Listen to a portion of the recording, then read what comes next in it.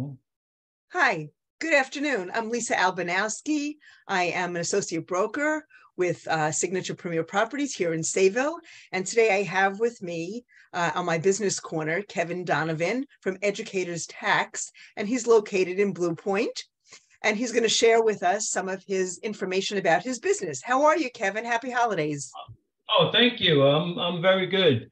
Uh, again, uh, I'm an enrolled agent uh, with the IRS. It's basically the highest tax credential that the IRS has to offer.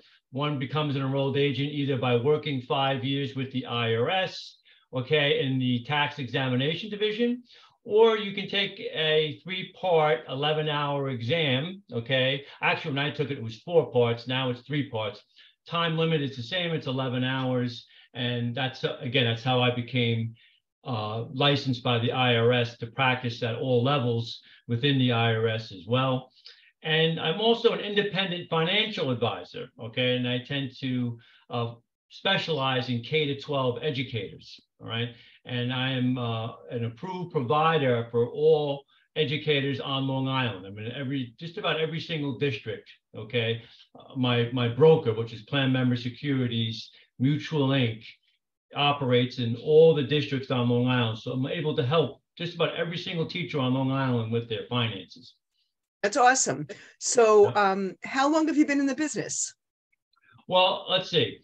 Um, I've been, let's say, enrolled agent for almost 20 years. Okay. And I got my, I finally got all my securities licenses about two years ago uh, through FINRA. I took a Series 7 a Series 63, a Series 65 exam, and then I got my New York State life and health insurance uh, broker exam also two years ago, just after I retired from teaching. However, I've been involved in investing for over 30 years. Okay. Um, and I just got so involved in investing that it led me to eventually sit for all those licensing exams. Because, again, another way for me uh, to help teachers because again, when you first start out teaching, don't have a lot of money. So you want to be able to take the money that you can save and put it to work for you. All right. And that's what, you know, that's what I try and do for teachers and try and help them take whatever they can save and put it into the market and make it work for them just like they are working for us. So you were a teacher, and then when yep. you retired, you were investing your own funds and learned very yep. much about them. And your interest was so strong and your knowledge that you wanted to then pass it along to other teachers. And that's how you got into the business.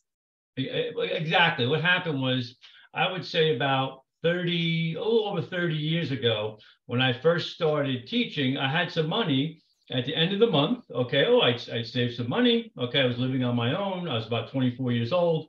And I was like, well, I have this money. I don't want to have it sitting in a savings account. What I wanted was I wanted to put the money to work. Okay, so so I, that led me to read a lot of books about investing, and then as a result, okay, I read so many books. Okay, uh, and I, I became quite knowledgeable. I, I tended to help other people as well uh, learn about investing again, and that also led me again along this new career that I have after I retired, and eventually led me to take the Series Seven exam, um, and Got then it. the five, all the ones I talked about before. Right. So, um, where is your business? Is it is it a place where people can uh, walk into? Um, do they need to set an appointment with you? How do they connect with you? Yes, they, they would need to set an appointment. I, I almost always work uh, out of my home office, which is a which is in Blue Point. Okay, um, I do have office space um, on the top of the Teachers Federal Credit Union in Farmingville, but again, when you're you're a teacher and you're on a schedule all the time, uh, I tend to just like working from at home. It's much more quiet. I make my own hours. Um, I'm not you know, I'm, I do not have to show up at a particular place, okay, to work all the time. I usually just work right out of my house. It seems to be most comfortable. So people come to you after hours on the weekends. So you're very flexible on how you have appointments with them. Yes, yes. Usually, uh, you know, Saturday, Sunday, or in the evenings as well. Got it. So, um, what um, what kind of a uh, uh, of a a story can you tell me, if any, about like a memorable experience with someone who may have invested and you know wound up to be surprised or happy? Is there something you can share with us about one of your clients? Okay, well, I remember back, um, you know, several years ago, a, a, guy I do taxes for. Um, he's just one, but there, there, there are several. Okay, uh, back then the there was a you know it was during the depths of the financial crisis back in 2008, and this one client was, oh, I want, I should, I really want to sell. I want to sell all these uh, stocks because I'm losing so much money. He was down well over 50%. And I was counseling him just, you know, stay calm. These things happen. Okay. And a lot of times with investing, it's not so, it, it has to do more with how well you can stomach the market downturns. And what was going to happen is he was going to sell and he was going to uh, essentially lock in all his losses. He would have lost probably about $350,000. That's just, you know, on one, in one instance. And I was able to calm him down. And eventually, okay, he decided not to sell. And over the next couple of years, he got all his money back. Okay. And plus, you know, a very substantial profit as a result of, you know, being able to hold on during the downturn. Now, it's easier for teachers to hold on because they have a nice pension, okay, at the end of their retirement rainbow so to speak, that they can rely on, which is very helpful for them. And I tend to use that to try and keep them calm because the, the teacher's pension is the biggest part of their portfolio. Got it. So, um, and you've been there yourself, so you certainly yes, know. Yes, I've, listen, I, I, right now, I, I invest uh, the same way. I invest myself okay, and the teachers the, the, the, same way. So I have skin in the game. I have my money invested just like they do. And so when they feel losses, I'm feeling the same thing they are. And that's why, again, that's why I tend to specialize in teachers. I know exactly what they're going through. That's good. And so, what do customers say? What do your clients say is one of the favorite things about coming to you as a business professional? okay, when they come meet me, okay, uh, I tend to sit and I'll listen to them. I'm not someone who's going to occupy the airwaves. Okay, so mostly I try and be the best listener I can. I tend to learn more my, when my mouth is shut. Um, but I, I get things done pretty quickly. All right. If you come to me and we sit down and we talk, whether it's taxes or coming up with a financial plan, I usually have it done within 24 hours, at most 48. So I, I my, the turnaround time is quick. As long as that individual is cooperative with me, I'm going to be very quick. Got it. So yeah. um, your your focus is working with teachers, yep. and you do their taxes, their personal uh, yep. returns. For... And also, they have a small business on the side. A lot of times, I will. I also do them as well. Okay, so a lot of teachers who have like uh, a, a um another kind of a small business that they own you'll do their taxes for their business as well as their personal returns exactly and, and sometimes the the uh, whether it's the husband or the wife who's not a teacher maybe they're involved in a business and i can you know help prepare them as well or choose some sort of entity selections uh, whatever you know suits their particular need so um, what motivates you to do what you do well, it's just basically it's like another form of teaching. Again, uh, for for my first 20 years of teaching, I was an earth science and living environment teacher, and then the last 12 years of teaching, I was a uh, I was a physical education teacher. Now I'm now I'm basically teaching you know finance and taxes. Okay, so I'm teaching that full time. So you know I'm always like a teacher first, salesman second. And that's good. And you're living by example, so to speak, also. Yeah. Yeah. So so how do you get how do you get your clients and what do you what does your business need right now?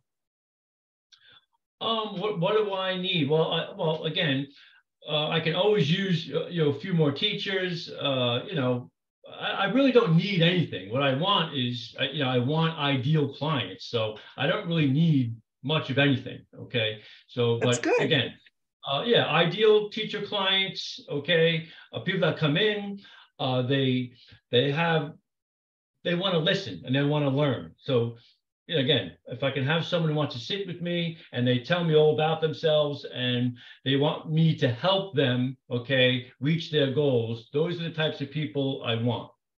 Got it. So if I meet teachers, you know, in my life, I sell properties, right? Right. Um, I have a lot of teachers of my past clients and current clients. Um, those would be people who would be clients for you if they're interested in uh, sitting down and listening to you. Those are the kind of people that I can send your way. Yes, exactly. Okay. Again, as I said, K to 12 people, those are the ones I specialize in. Okay. Obviously, if if the husband or wife is not a teacher, I work with them too. But that's usually that tends to be my strength. That's what I specialize in. Well, that's good. So Yeah. locally, you're in Blue Point and you serve clients in the whole geographic area, anybody who is willing to come to you. Do they have to come, do they have to come to your office, your home office for a Oh, meeting? no. I mean, I can I can do a Zoom meeting if you know if they if they're comfortable with that. I mean, a lot of times people want to see the guy behind the curtain, so they want to come meet him face to face. So, but either way, I can do a Zoom meeting. Also, I I, I have done virtual meetings uh, many times. Got it. So do your clients come back to you uh, when they're getting ready to retire for some, um, for some extra advice? Oh yeah, always. Uh, well, that's what that's the beauty of of doing the taxes. Also, from for most of my investing clients, I also do their taxes. So they will come to me, either sit with me. We can do uh, virtual, okay, and you know. I'll talk about their investing, how the markets are going, what's going on with regard to their portfolio. Um, I will explain, you know, you know how the whole retirement process works as well that I, I can I can also again meet not just for taxes. I can also uh, you know I, I reach out to them probably monthly just to check in to see how they're doing. I always give them emails. I give them uh, educational information with regard to the markets every month, and then you know I also reach out to them, especially when the markets are down. You want to make sure your clients, you know, uh, they have an understanding of what's going on and they don't get too nervous because a lot of times when clients are very nervous, that's when bad things can happen to their money. Right. So you stay in touch. So you're really committed to the business. That's what I hear. So Kevin, Yeah. it was really um, interesting to learn about your business. I didn't know that there are financial planners like yourself who are just dedicated to educators. So you taught Right. me something today. Um, Alright. and you're and and you're also going to help those people with their not only their taxes, but if they have a spouse or a significant other who um, they're with, you'll certainly be able to help their small business as well. Right, right. And uh, again, if I don't have an answer for their particular for one of their particular problems, I can always call people. I have like a team of people that I work with, you know, other lawyers and things like that that I can call, okay, and also get answers to their questions as well. So if I don't have the answer right off the top of my head, I can dial into a network of people, whether it be taxes, whether it be finances, especially with elder care. I can call a team of attorneys and other people that will also have information for them and help them. And that's awesome. Like my practice, I'm a real estate uh, broker and I work with seniors. That is one of my specialties. So I Yes. work with a lot of elder law attorneys and mortgage professionals who not only do regular mortgages, but also reverse if it suits them. Right. Okay. So you're very team oriented like I am. Yes. and exactly. um, and and that I think that's the name of the game in the sense of helping clients in all aspects, right?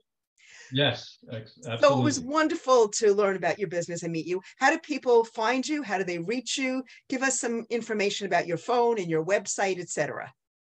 Okay. Well, they can they can reach me uh, at my website. It's uh, let's see, it's educatorstax.com. Okay, www.educatorstax.com. They can go there, learn more about me. They can call or text me at 631-848-1316 or reach me via email, kevin at educatorstax.com.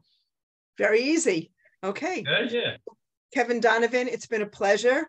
I wish you um, a happy, healthy, prosperous new year. And uh, great to great to meet you and get information out to our our public, our local community. Uh, have a wonderful rest of the weekend and uh, enjoy your day. Thank you so much, Kevin. Bye now. Thank you. Same to you, Lisa. Bye.